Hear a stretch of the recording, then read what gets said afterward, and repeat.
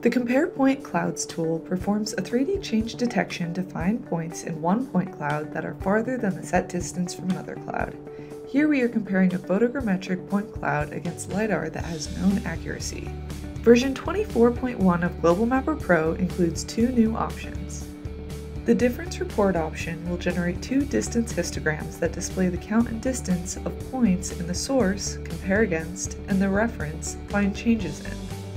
The Save Distance to Closest Point in Generic Field option gives you the option to visualize the measured distance with point cloud color by changing the LiDAR draw mode to generic.